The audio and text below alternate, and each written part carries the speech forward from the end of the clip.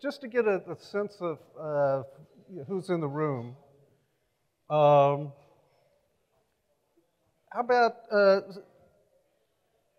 oh, thank you. How about stand up if, if at your company on your projects, if you're using test automation? Okay. Okay. Um, so that's almost everybody. Now, now, wait, stay standing for a minute.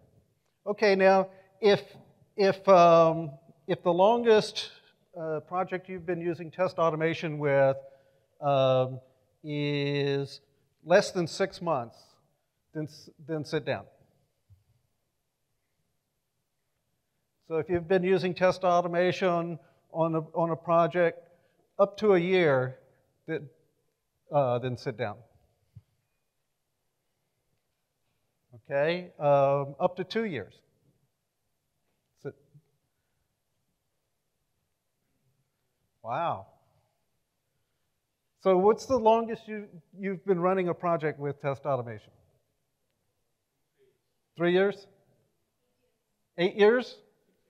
Wow, excellent. So as you've run these, you can sit down now. Thank you. As, as you've run these, these projects for you know, six, eight years, um, the, uh, the nature of the tests and the way that you, you, you, organize them have changed over that time, correct? Yeah, I, I don't think you would still be running test automation if you hadn't. I, I've run into too many organizations where, you know, they jump into test automation and then six months or a year, they're having a hard time maintaining those tests. They're having a hard time keeping things running. Um, they don't know what's where. When something breaks, they're not sure what's going on. And so they end up, well, usually it happens slowly. They'll say, don't run this test. And then, well, don't run this test. They end up with a lot of tests that aren't running. And eventually they declare bankruptcy and they delete all the tests and start over. I know of a project that has done that twice. They didn't learn the first time. Now they've got too many people working on the project. They've got something like 12 programming teams, plus a couple of maintenance teams. It's, uh, it's a messy situation. But um, so the, the, reason that I came up with this topic in the first place, Lisa Crispin asked me to, uh, to speak at the Agile Alliance uh, Technical Conference last year. And um, so, so I said, sure. And then she called me back a week later and says, okay, what's the title of the talk? and so I, I thought, well, this is an important topic. Now, when I, when I thought that, it I didn't think about how much work it was going to be to prepare this talk. But I had to develop a code base to support these concepts. And it, you know, one of the problems is that when you look at um, the tutorials online, they're tiny little problems. And so they don't show the sorts of things that get in your way when you work on the same code base and continue to write automated tests over a long period of time. And some of them get people into very bad habits. So, so that's where this talk came from. Um, now, uh, the first time when I did it at the Agile Alliance Technical Conference, I thought, oh, it's a technical conference. There'll be enough laptops that we can pair and we'll have a laptop for every two people. No, we didn't. There were several laptops in the room, but then I don't think there would have been enough anyway. But Michael Feathers got sick that morning, so everybody that was going to go to his talk came into mine. And so there were a whole lot of people that weren't prepared at all. So I gave up on that idea. So we're going to try something a little different. My laptop is down here, and what I want to do is, is take a mob programming approach. And so I need a driver who'll run that laptop. And we can switch around. We don't have to have the same driver the whole time. So if you get tired of doing it, you can say so. Who's willing to do that? Okay.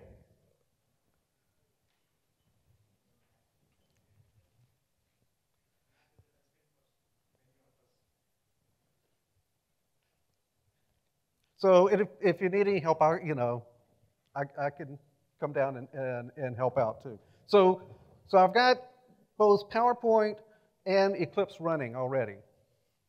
Um, so we can alt tab between them when we need to.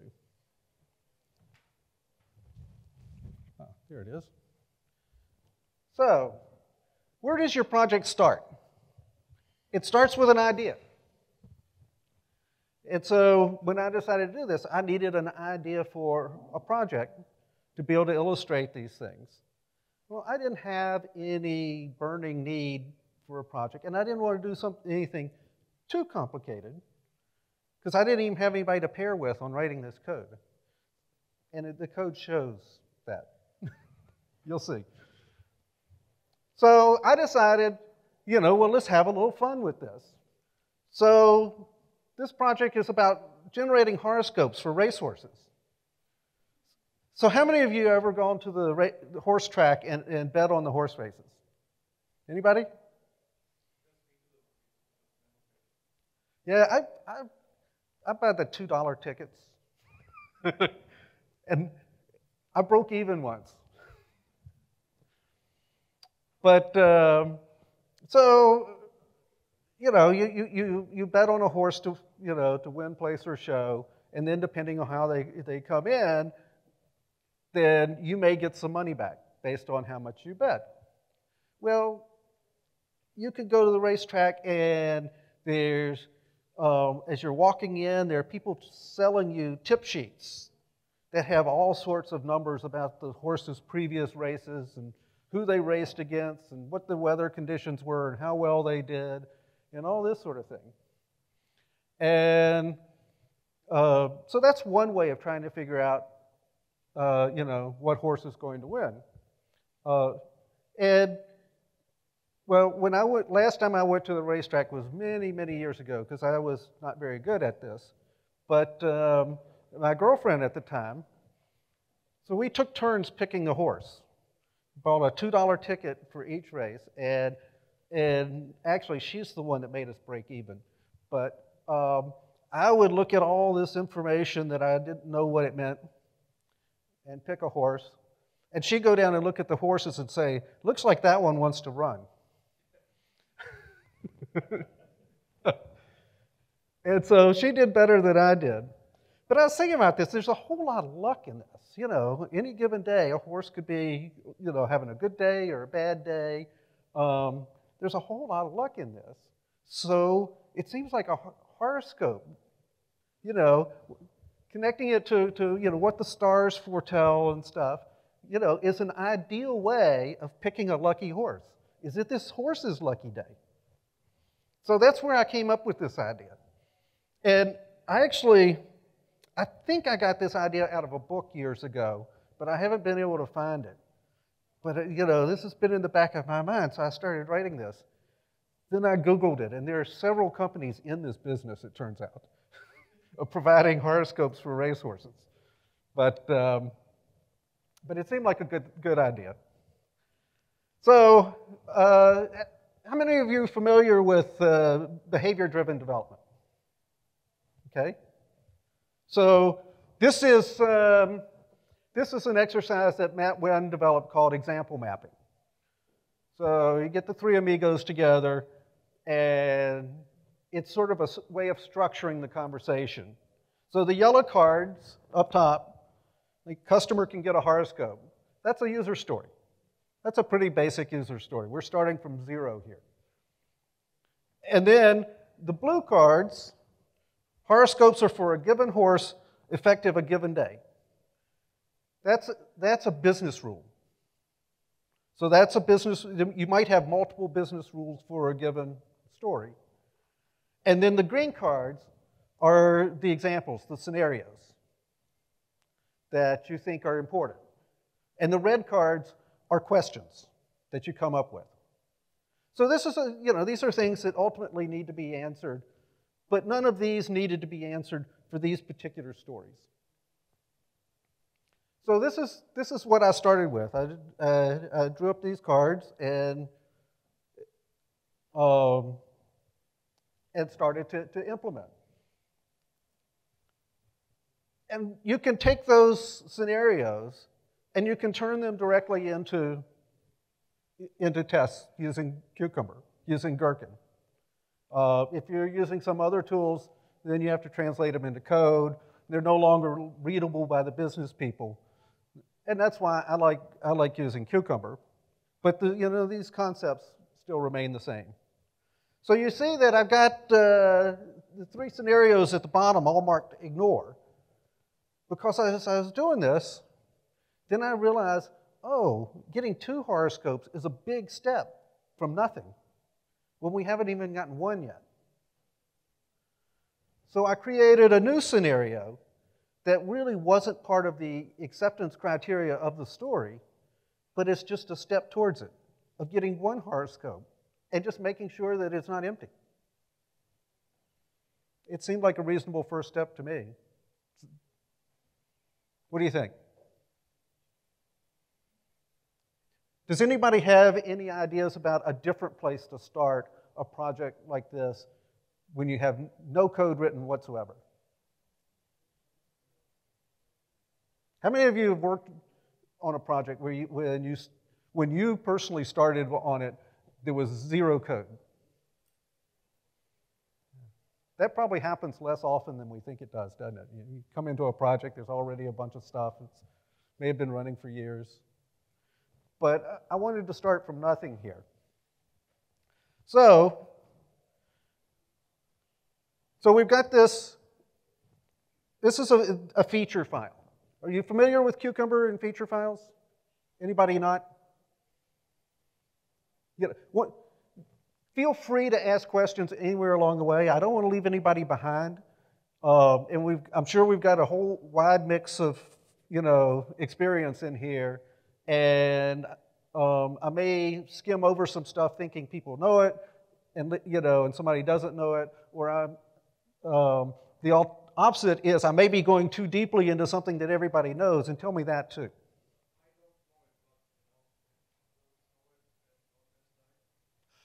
Well, it's really very simple. So this file, this is a test file right here that you see. So it starts with the word feature.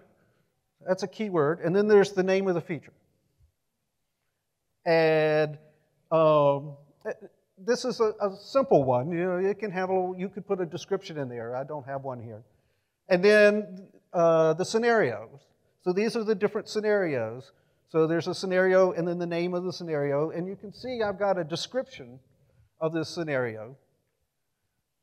And then there are three basic keywords within a scenario. This one's only got two of them. So there's given, which is the preconditions. Uh, there's when, which is the, the action that we're testing. And then there's the then, which are the postconditions we want to verify. And so what we're doing here, we've really got no setup. Just we say, when we request an arbitrary horoscope, so for any horse in any day, don't care what that is, then the horoscope should not be empty. So that's not asking a whole lot of our code. But it's, it's a good first step.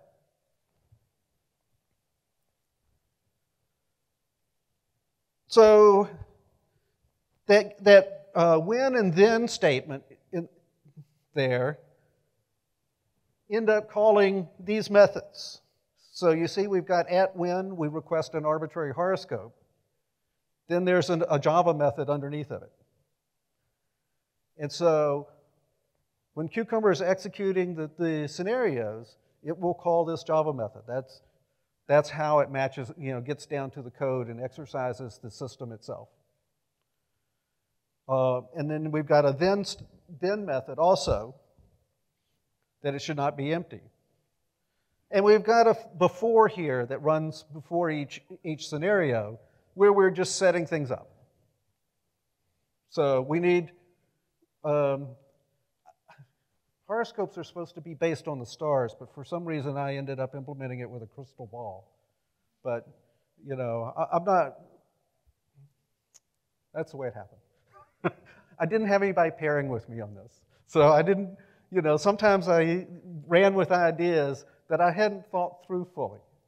Um, but you're, you know, feel free to, to notice and point out things that don't quite make sense in here because I think we can learn from those things.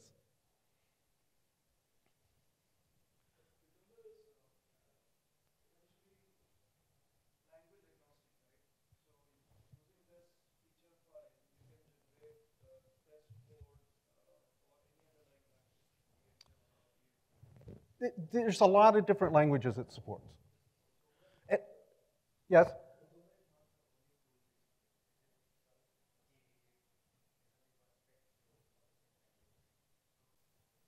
Right.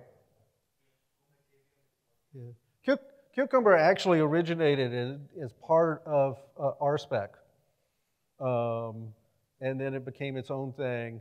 Um, I used to test Java code using Cucumber uh, running in JRuby so that I could call Java code directly. Um, there was a, the first version of Cucumber that supported Java natively was kind of clunky. They threw it away and they started over. Uh, SpecFlow is actually part of the Cucumber family now. It had a, separate beginnings. Um, there's a Cucumber JavaScript. Uh, there is um, for PHP, there's Behat.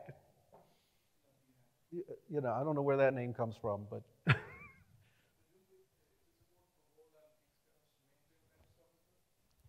um, I don't know. I don't know if, if, if Cucumber's got that. I've certainly, I've supported uh, calling services on a mainframe with Cucumber. You know, having Cucumber running on a different machine and, and and just doing, you know, at the service API level. Um, I did worked with a company one time, and they had sort of a homegrown test framework where they were encoding what had to be done in a in a big XML statement and sending it to a uh, on a SOAP call and asynchronously getting the results back later. And uh, we managed to, to drive that with, with Cucumber. Um, you know, where the Cucumber was setting values in that XML and then shipping it across. And we had to cheat a little, we had to put one more statement that at the end that um, would wait for this uh, call to return, you know, get the return message, and then look through it and and you know check that the you know what the results were. So it was it it was not quite clean, uh, Gherkin, but very close. So all this is doing, it's, you know, it's setting up the parameters that we're going to call and then we're asserting that it's not an empty or a null string when, on the result we get. Pretty simple stuff.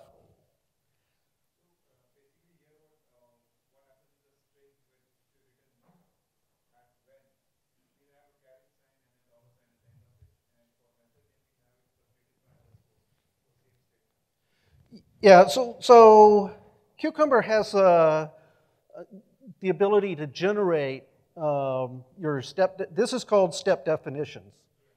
And Cucumber can generate those for you. Um, now, what's in that, that string is a regular expression. So this regular expression is very simple. It just says it's got this string, and it starts at the beginning, and it goes to the end of the line. The, the caret is, means beginning of line, and the dollar sign means end of line. So regular expressions, um, you can actually use just plain strings in Cucumber, but regular expressions let you do a little bit of stuff, and you don't need much regular expressions for Cucumber. But this is what matches it.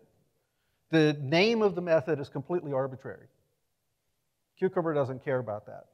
But when it generates one, it generates one based on the step, just so that the people can say, oh, yeah, that, that makes sense. You know, if, if, if you're tracing through the code or something, you say, oh, we're in this method, that's the step definition for this step over here in, in the scenario. So here's our implementation, our first crystal ball. Impressive, huh?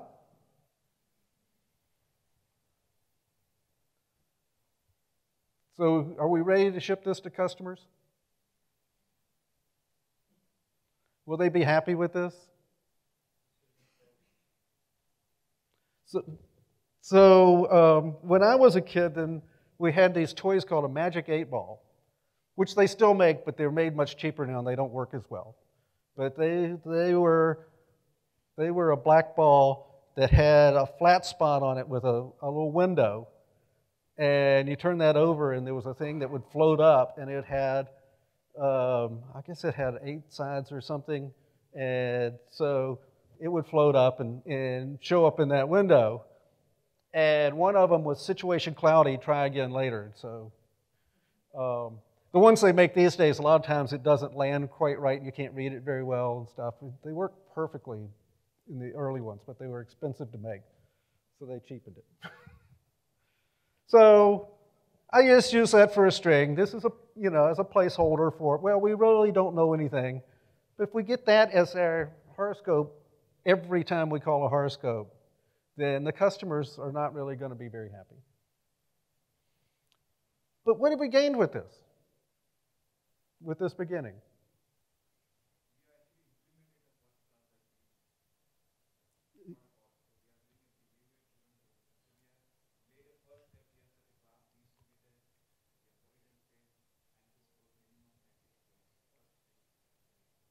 Right.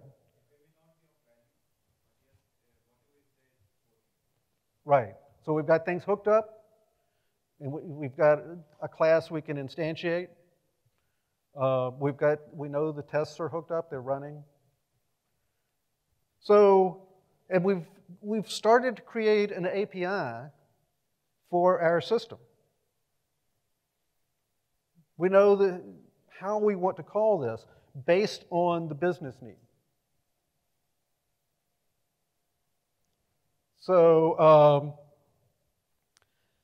so why don't we why don't we uh, switch over, do a um, yeah, switch over to Eclipse. Here, just Control Tab. Now, what I've got right here is what's this is this is the, the complete project as it stands right now. So click on this Package Explorer tab, okay, and then right click on that and go down to Team and switch to. And we want um,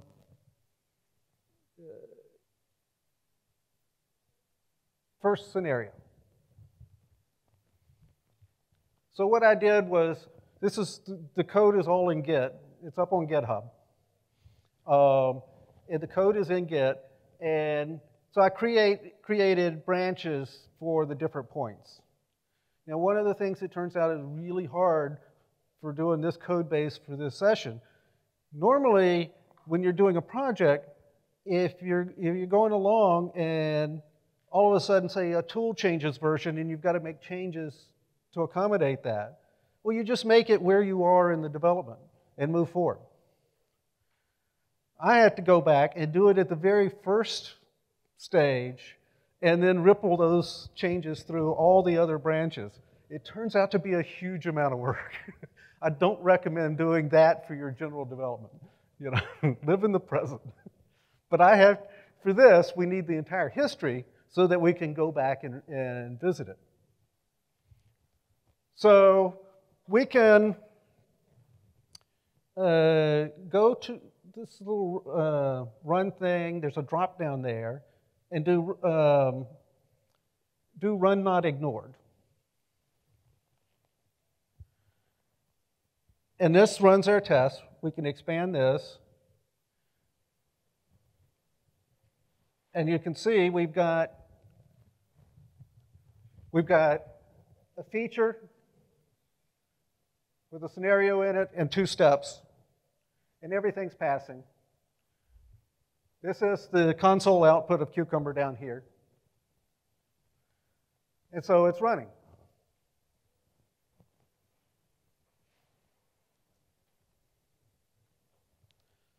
So what would we do next? And you can, you can look at the code if you want. Does anybody want to take a look at the code in the IDE?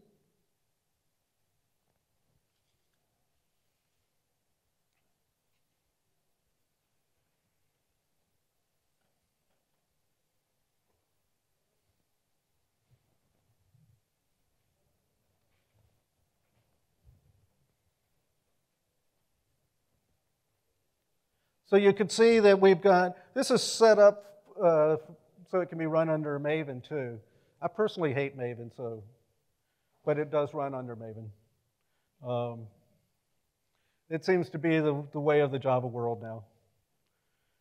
Um, so you could see that, that you know, there's a source main and a source test because that's the way Maven expects things to be. Uh, and then there's Java code and there's resources. So um, that's, that's sort of the basic way of setting things up. There's a lib directory that has all the jars in it. And Maven's not happy with me because it likes to be able to pull them in from the internet. And there's some jars that don't live on the internet that are in there. And so it complains about that if you run the Maven. But I didn't want to, this isn't about you know, this session's not about Maven, so I didn't worry about that. So if we look at this, we can see under source test Java, we've got a run test.java. And what that is, is it's a, it's a connector between JUnit and Cucumber. So that when you run JUnit, it can also run your Cucumber tests. Um, it's a, uh, it's a pretty simple thing. And then we've got a step definitions file that contains the step definitions. Um, up under resources, we've got the uh, feature file itself. Under source test resources. Um, yeah, that's Eclipse makes that hard to do. Let me think I may have run the wrong eclipse.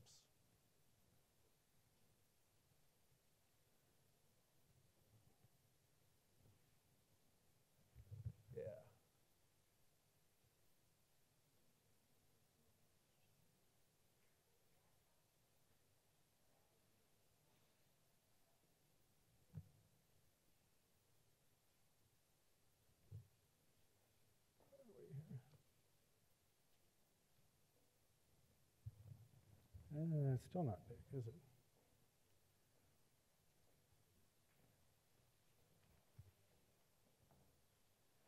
This is one of the uh, warts of Eclipse that they've never done anything about. You should be able to just increase the, the font size, but no. No. Uh, and I had set it up with a larger font size, but that seems to have gone away. Hmm.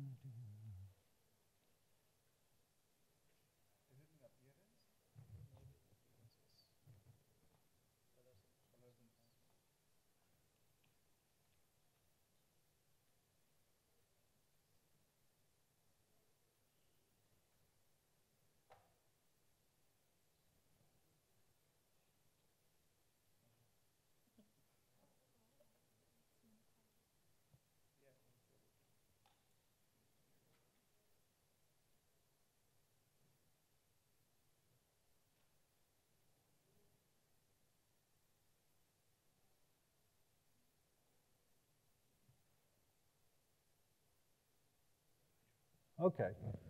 I don't know how to do it over here on the left side. That's, that has escaped me. It's, you know, it's, uh, it's what it is. That's a little more readable, though. Um, so where were we? So we were thinking about what would we do next? Now that we've got this real basic structure, it's not really doing anything, but we've got stuff wired up. Now we want to make it actually start, start doing something, right? So how would we go about getting to that next step?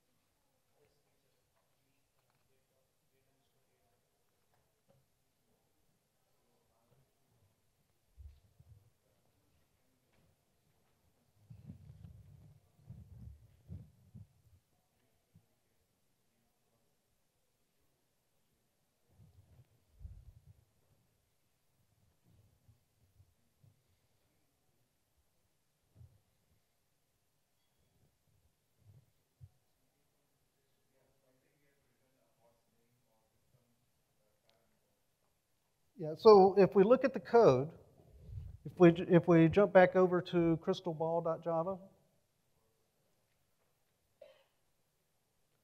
then you can see we're taking a, a horse name and a date. Now, they're just strings. Um, that's not a great idea, but that's what they are right now. Um, and, and it's returning a horoscope. Now, that horoscope is the same all the time, and we want to make it so it returns a different horoscope for a different cause.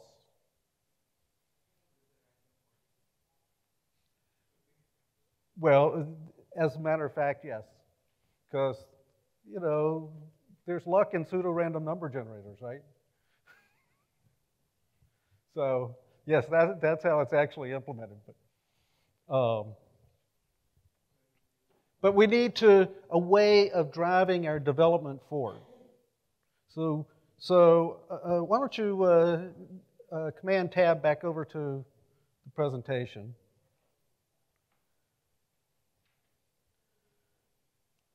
So these are uh, embryos, starting with you know the first time it, it, it cell divides and it's got two cells, and then it gets more and more complex.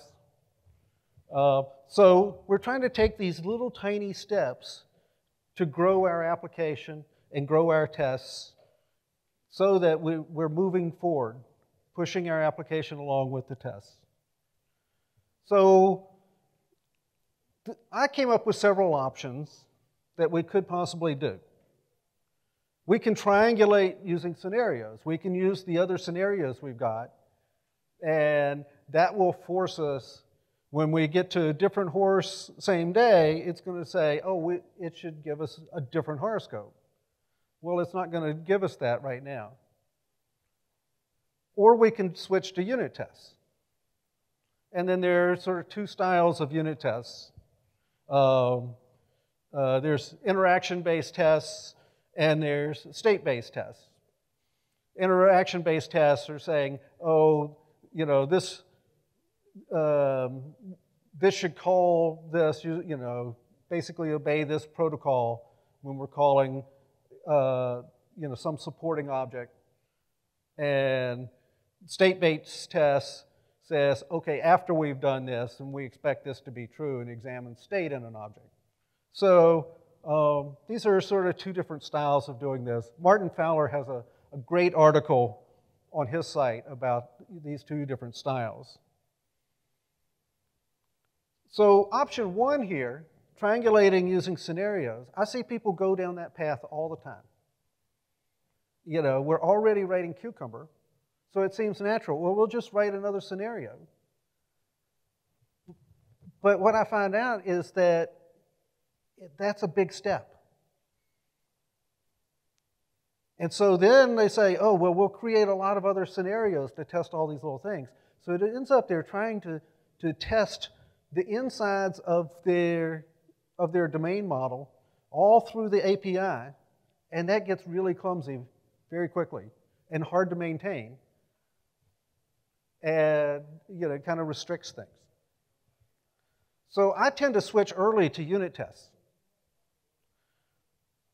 Now, when I first started doing test-driven development, then, then um, well, there, there were no mock objects then. They hadn't been invented. Now, uh, I, came from a hardware development background, and so having stubs and fakes and stuff are things I was used to uh, in hardware development. You know, if you're doing a transmitter and and you uh, need to be able to run it without an antenna, you need a dummy load or it doesn't work right. It can blow it up. So there are those sorts of things, you know, that to be able to, to take part of your, system and run it without all the real stuff around it. Now, true mocks also verify the behavior. And when you're using uh, the, the, Detroit style, then the verification is, is built into your test after the fact, rather than setting it up before the fact in, in the mock. So those are, that's the basics between the two styles. So, um, well, let's, let's go back to Eclipse and go to Team and switch to and, uh, and rudimentary first unit test. Right, right click on the project, yeah. And then team. Yeah, this is a little clumsy. Switch to in, uh, rudimentary first unit test. And so that changes the underlying code.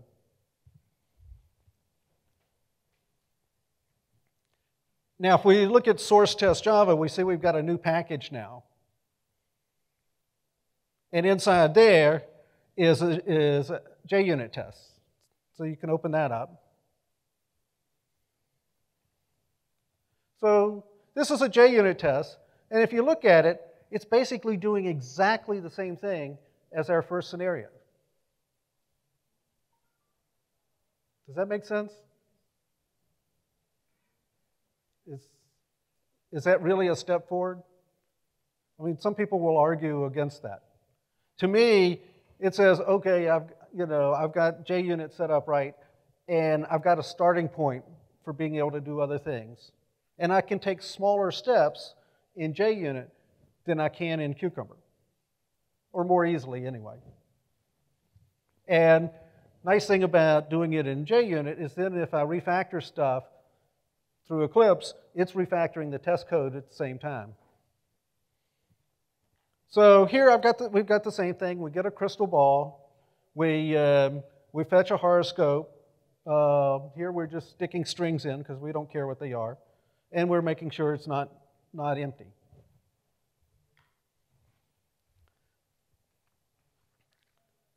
So, but, well, you mentioned we want to be able to get random horoscopes.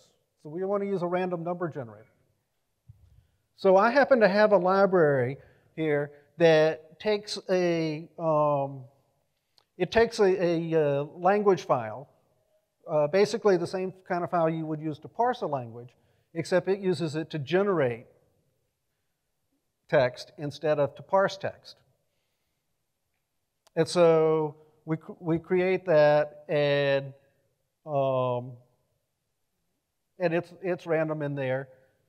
You know, it, it, it's got placeholders so you can generate complex sentences and stuff, so vary parts of the sentence, all based on the random number generator. Well, how many of you ever tested anything that's run with a random number generator? Yeah, it's hard to do, right? How do you know what, what's the right answer? Yeah, so you just say, oh, does this seem right? You know, but uh, it's hard to do. Um, there's, there's some strategies for doing it. If you can control the random number generator and give it the same seed, then you can make sure it does the same thing. But that's kind of fragile.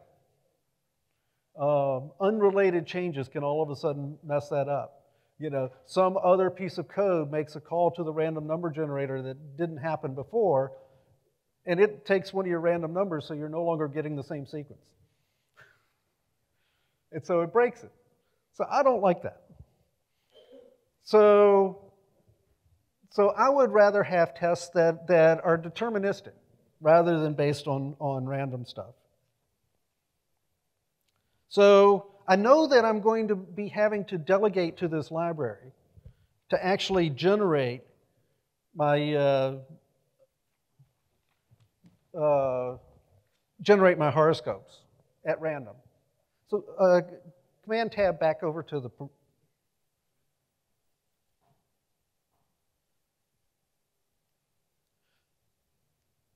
So I know I'm going to be calling this external component.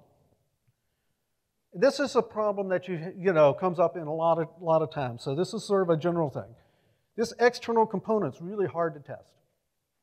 You know, we may not control it. I've got it here. It's just a jar file. Um, um, I didn't write it.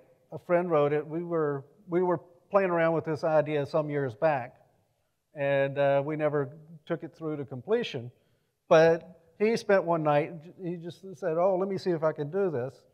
And he says, Oh, I've done this part of it. And so I've got the jar file here. But, you know, it calls the random number generator inside that, and I don't have any control over it. So that's really hard to test well. But, so the domain logic is in Crystal Ball. There's not much here yet.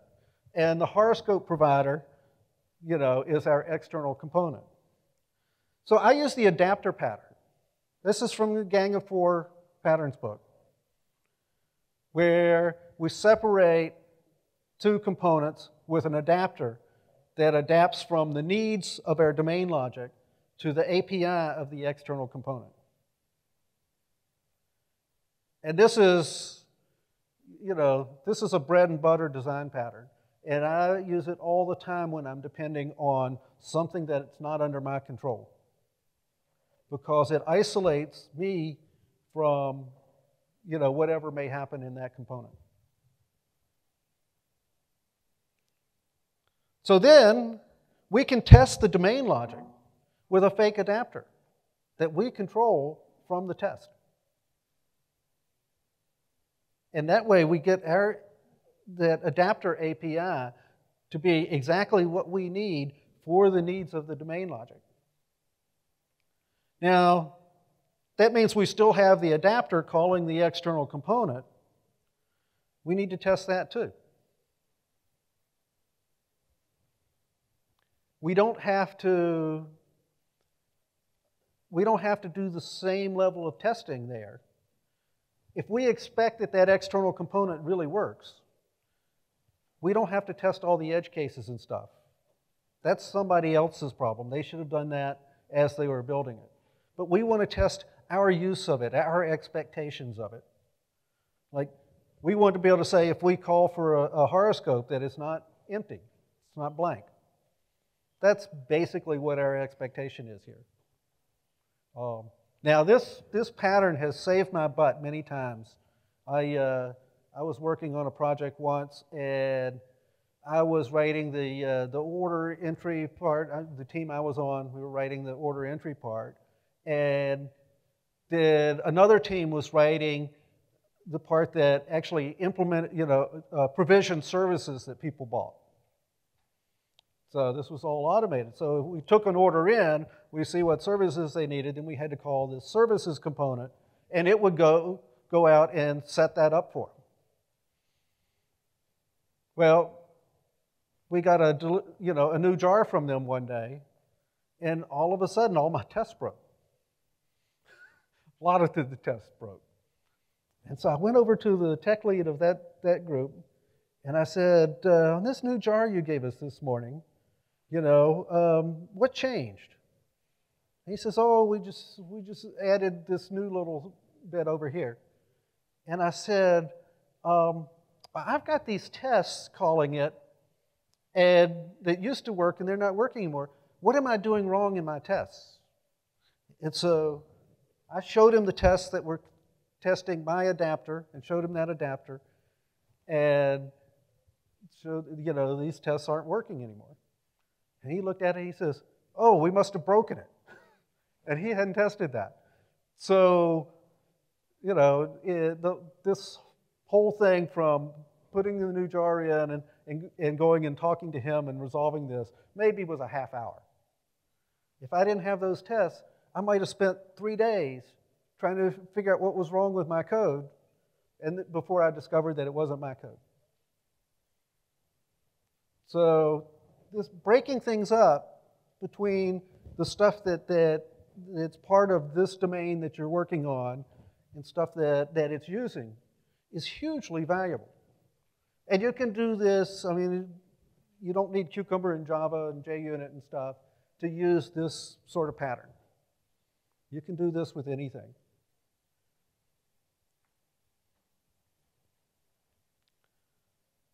So here we create a fake horoscope provider. This is our fake adapter. And all it does is return a string. It's hardwired to one string. So we're kind of just pushing things down. Have you ever watched anybody uh, uh, do pottery on a wheel? Or done it yourself? So it, it, clay is really elastic, and you start out with this lump of clay, and it's spinning, and you push on it, and it changes the shape, and, you know, and ultimately you end up with a beautiful vase. And working test driven is sort of like that. We make the tests push on the code until it gets into the shape that we really want. So we do it a little bit at a time. This fake horoscope provider, we've pushed in our original crystal ball, we were just hardwired to generate a string. Now we've put it, externalized that into this horoscope provider, and we're making sure that our crystal ball actually goes out and gets it from that horoscope provider.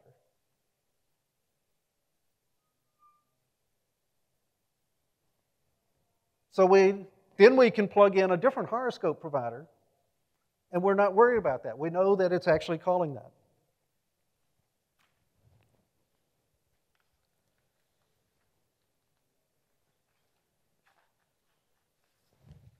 So here's what we end up with.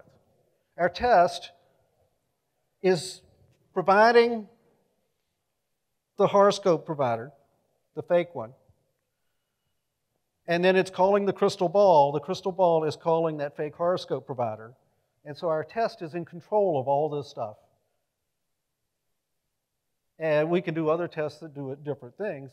We, but, and, and so this works, you know, and the test is in charge of its own fate. It controls the data that it depends on. And that's hugely valuable when you're, when you're working on stuff. So then we've got the adapter. This, um, this third-party library that, that generates the horoscopes is called Mumbler. Um, because it's not really making sense. It's just mumbling. so we create an adapter that we'll call it and assert that it's not, the empty, not an empty string. That's all we really care about in this point that looks like. We've got, we're testing this other adapter and testing this third-party library that we can't control. So, but we can still make assertions about basic characteristics that we expect. In this case, that it's, it's uh, not an empty string.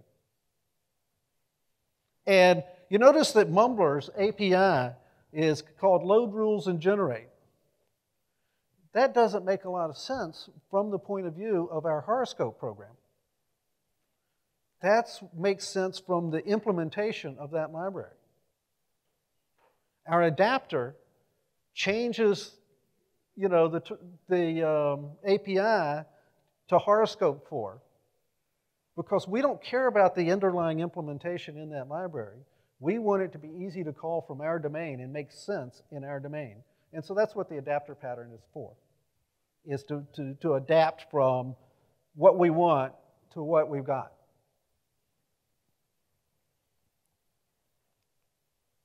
So there are several patterns we've talked about here, and these patterns um, are, are generally useful. So I call this protect the borders. So on the outside of what we're working, isolate the domain model from the dependencies of other things that we have to depend on. So the adapter pattern is the most common. There's another pattern called the mediator pattern, which is bidirectional. Um, oops. Uh, and, you know, there's less call for that. So, and then test the domain model using a test double adapter or mediator and test the integration aspect of the real adapter with the external dependency. So I mean, this is a pre pretty simple example of the, these patterns, but um, I, you know I've used these in all sorts of situations, and I find them generally useful as we do start depending on on other components.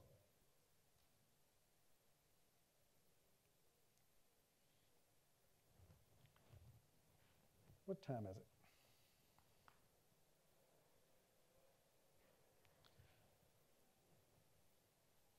Okay, the um, we're sort of uh, jumping to a different part here. Do you want to take a look at the code in more detail before we go to, uh, to the next topic here? We can, if, if you want to switch to Eclipse and, um, and switch to uh, refactoring first scenario.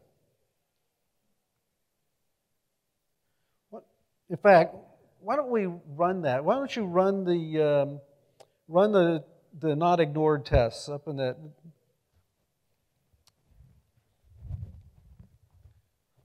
let's this uh, drop down here. Yeah, number one, run not ignored.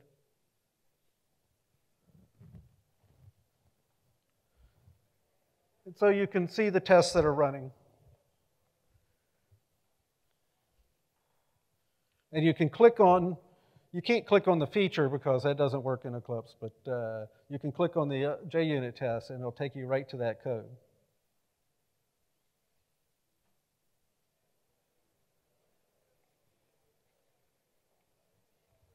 So we've seen, seen a lot of this already. So go to this one. Assure generator has variety.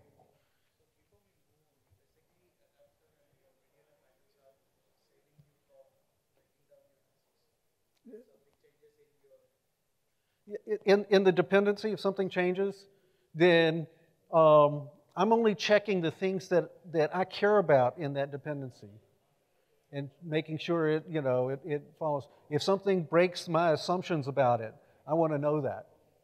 If the other things change that don't break my assumptions, that's fine.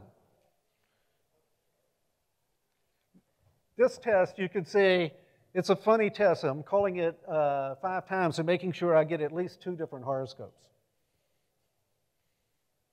Um, I ended up, you know, writing, that's not in the slides, but I ended up writing that because I had to generate the uh, rules file that it's following. And that rules file started out as something very simple that only generated one horoscope. So we're skipping a little bit here because otherwise it's like watching paint dry.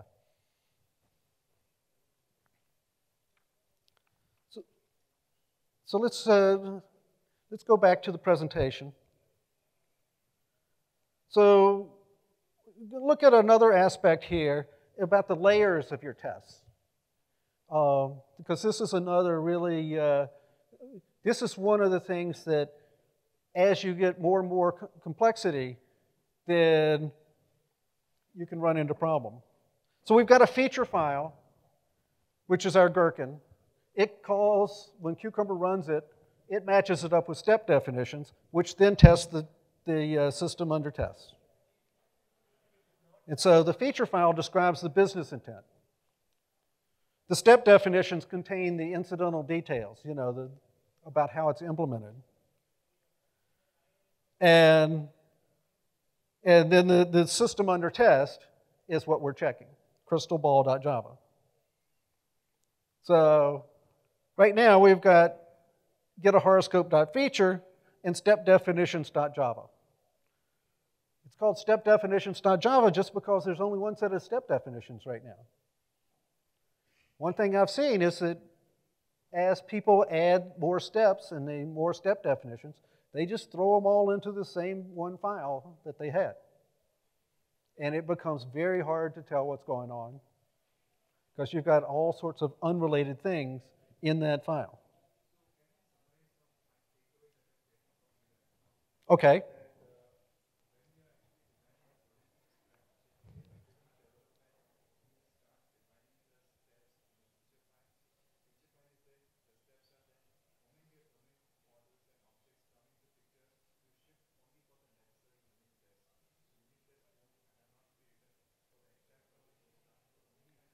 Right.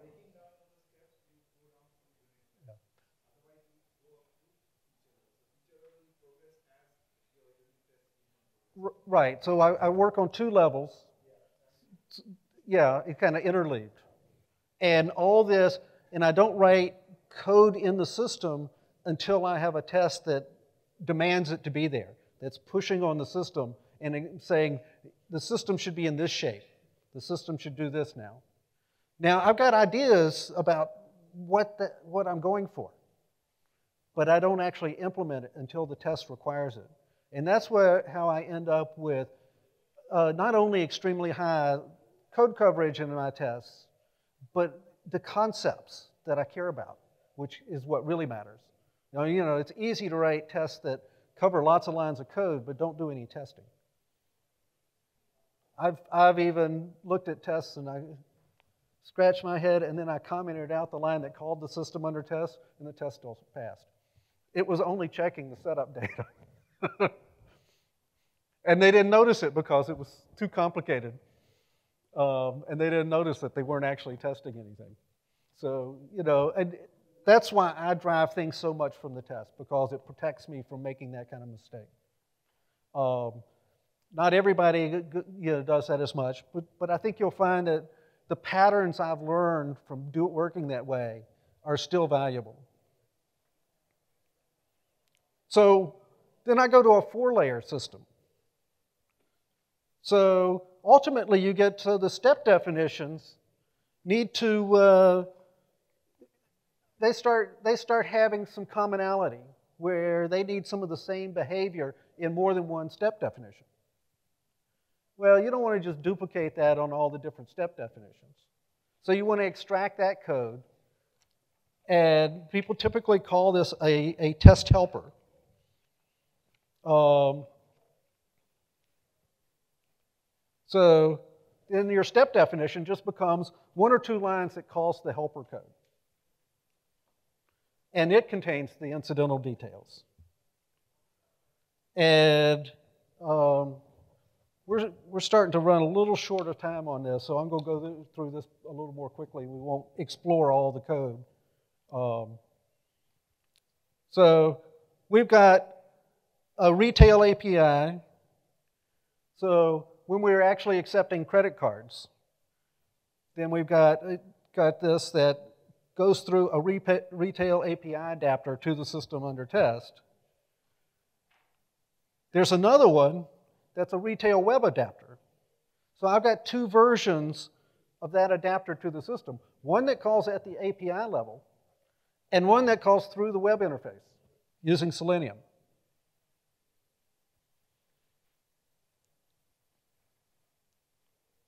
Both, the, the, through the API is much quicker, of course. you know, and, and less error prone. And, but we can also test through, through the, the API. Why don't we, uh, why don't you do, go back to Eclipse and let's take a quick look at that.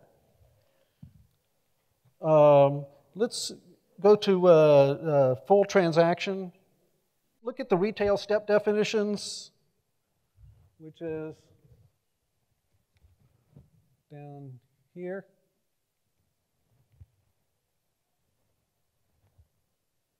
And so it, it's getting a retail a API. We're using a little lightweight dependency injection framework to, to be able to poke that in, uh, which API we're using. So I use a different one when uh, I'm running suite of tests through the web, app, web interface than when I'm running it through the API. And then we can look at the um, uh, Equine Horoscope Retail Web Adapter.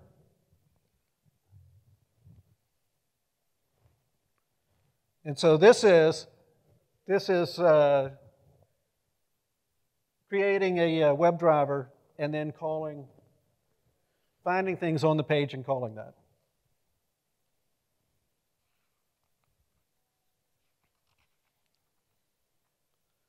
So ultimately, So let's switch back to the, um, to the presentation.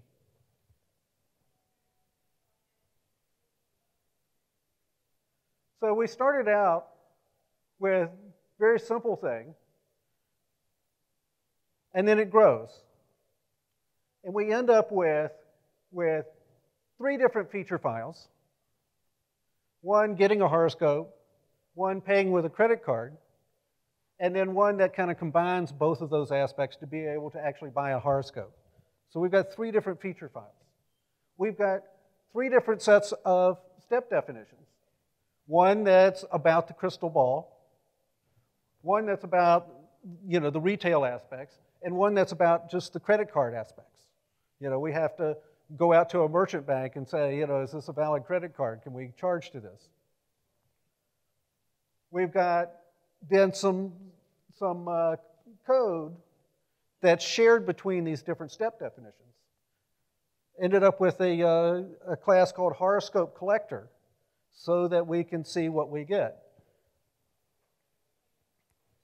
Uh, and we've got another one that contains the credit cards that we use for testing so that we don't have to duplicate these things. Now, none of these things are called helper anymore. They now have names that reflect what they're actually doing.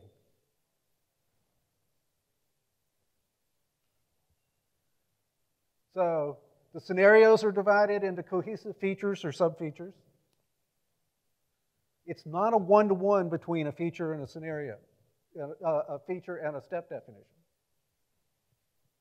Because here again, we want to think about what they're doing We delegate code that, that is useful in our tests. So we keep, we maintain our test code with the same rigor that we would maintain our production code. Because we've got to live with this for as long as we've got to live with the production code.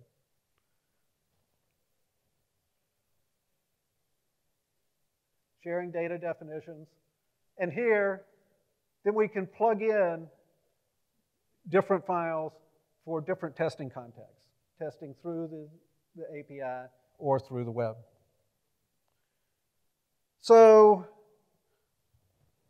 now I've got a, um, a, a, four layers of test here, plus the system under test. So what I've done is split the, the incidental details part into that that's related to the testing and that horoscope collector is only related to the test aspects. It's just a way to collect the horoscopes I get back and then be able to examine them and say, see what I got and in what order. Then we have an adapter that contains incidental details related to the system under test. So I've split these two concerns out to help me keep things straight. Because otherwise, these test classes get bigger and bigger and bigger, and it gets harder and harder to read and tell what's going on. So we have to maintain the concepts that are in our mind in the code and in the organization of the code. So, um, here we've got for our system adapter, we've gone to a page object pattern. So finding stuff on the page, well, that's related to the system under test. And if that page changes, we want to be able to quickly go and find that, and none of the rest of our test code cares.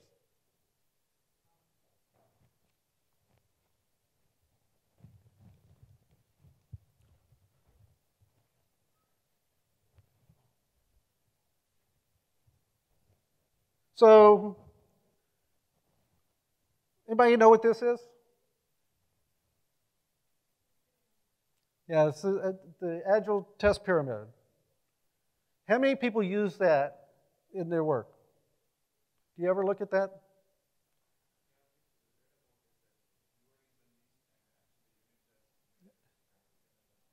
Yeah. So this is something that you know people talk about. You know, oh, this is it's it's the ideal distribution of your tests, and I don't know if it's ideal in all cases. What I found though is that it's really hard to drive your um, development from this idea. You know, people you look at this and say, "Oh, well, we need we need more of this kind of tests." Well, that's not the point. The point is to think about what you're testing. Test things as much as possible at the, at the lowest level possible. and at the lowest level that makes sense for what you're testing. Sometimes you repeat some of the same functionality through a larger part of the system at a higher level test. And so when I developed this code, then I went back and I just counted the tests and, and, and what goes where. And it came up to an approximation of the pyramid.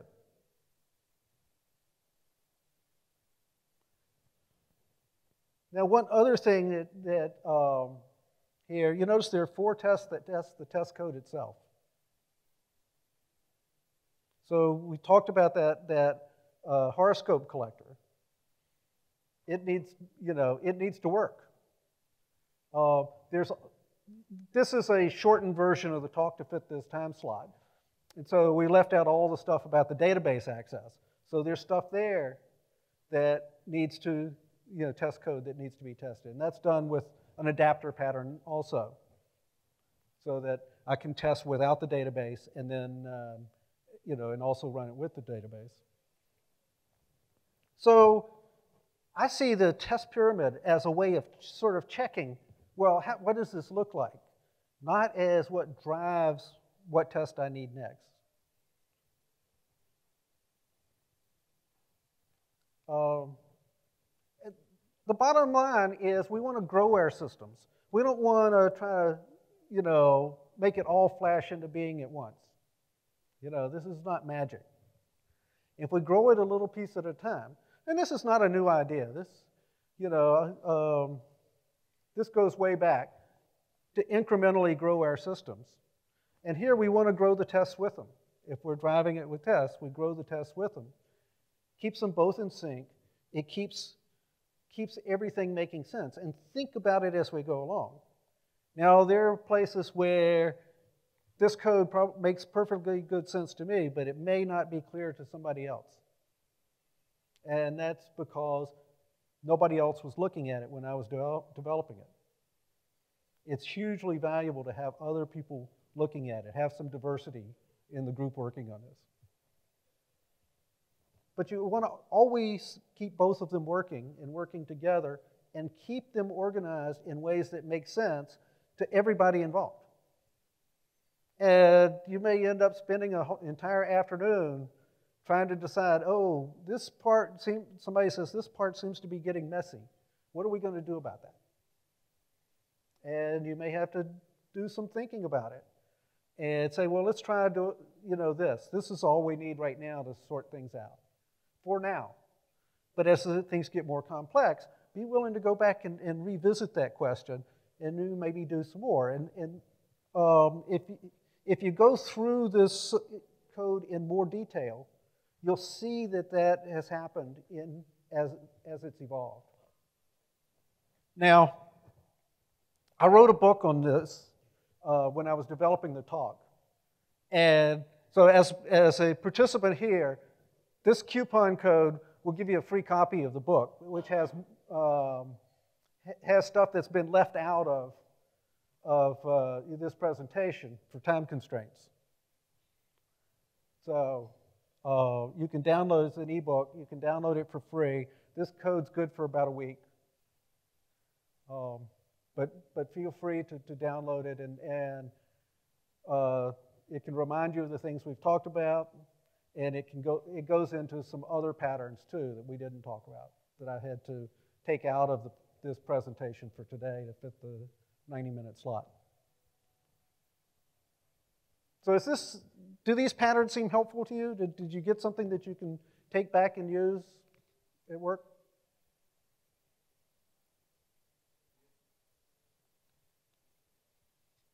Is anybody going to do something different next week than they thought they were going to based on this? It's kind of hard, you know, when you've got a big project already going to make sudden changes. But you may want to, as you work on it, you may want to think about it. Do some of the, would some of these patterns help you make the test code clearer? Make it easier to find things. Make it easier to understand. You know, um, one thing I think about is what happens when a new team member comes on board. How long does it take them to be able to understand what we've got? And that's significant. How many people have worked on, on a project and then gone off and done something else and come back to that project, you know, much later? You done that? It teaches you a lot of stuff, doesn't it? I one time, you know, six months had gone by and I'm working on a project and I see something, why did I do that? I said, this is so complex. I can simplify this. And so I simplified it, and this was before I was doing test driven development. I simplified it, and it was much simpler. And then, you know, then I test it after. Oh, but there's one case it doesn't, have, doesn't handle. And so I start backing out those changes. And I thought, this seems awfully familiar. And then I realized that I had gone through this six months before and made this same simplification that didn't work. So, so then I put a big note in the code. Today I would write tests that show that, and I would see this much sooner. I would let the tests catch me. Um, I've gone back to a program. I had a, a company I'd worked for had gone out of business, and a guy who was both a customer and a sales rep called me up, you know, looked me up, and said, "Hey, I've, I've got a the state of Florida wants some changes made to this the algorithm in this code. Can you do it? And I said, Well, if you can buy the rights to the code, then sure, I can do it. And this was embedded assembly language. I hadn't seen this code in over 10 years. But, you know, attention to, to uh, code hygiene and making it easy to understand. You know, when you work, I did a, I'd done that code solo. And I also, it was a small company, I had to do customer service. You know, I had to help the, the uh, technicians, repair technicians when they had a problem. And so it teaches you a lot of stuff about the problems that come up. And you have to deal with your own, with the pain yourself, and it makes you fix the problems. And it, it really was a great education. So you use this, be sensitive to the things that make make the job just a little harder. And try to clean those up as you go along. Now, having a team of people working together can help you notice these things more easily if you've got good communication in the team because you've got different opinions. And you say, oh, well, this is perfectly clear. And somebody else says, well, what does it mean then? And so having diversity really helps. Any questions? Yes.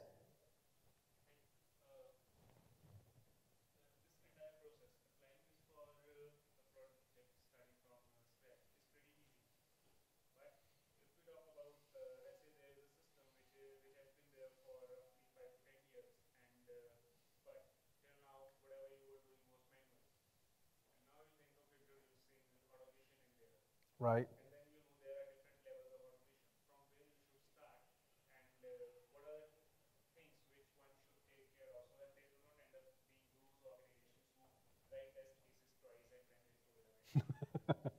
so that's a hard situation.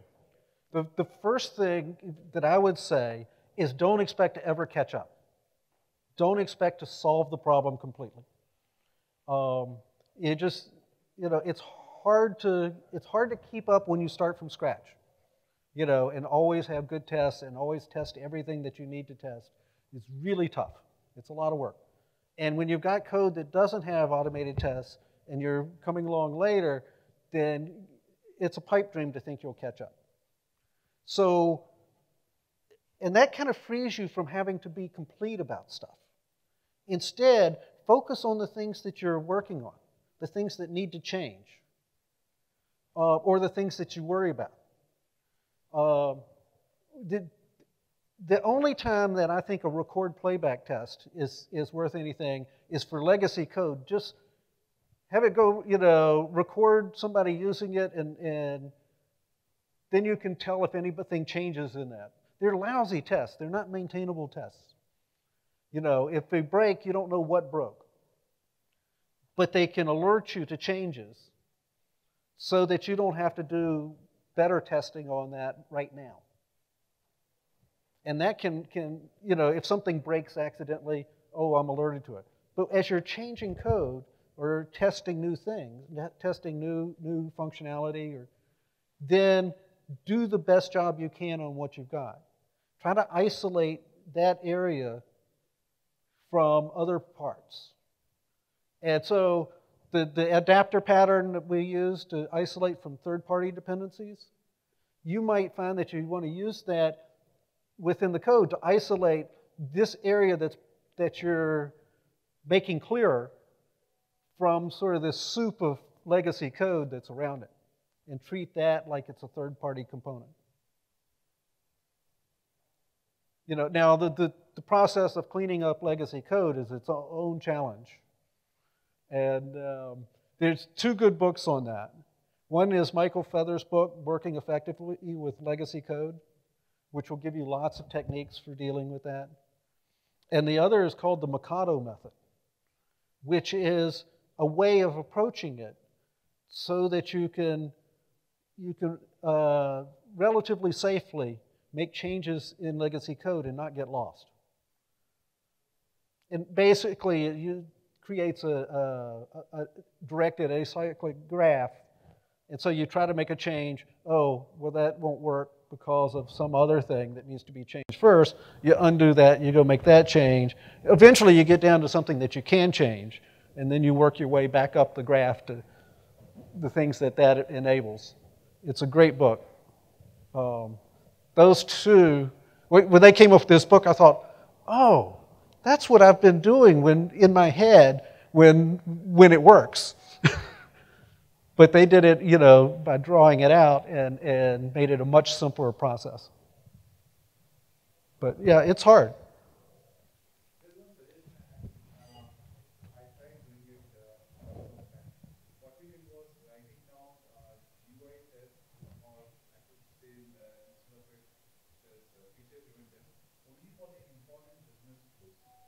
Mm-hmm.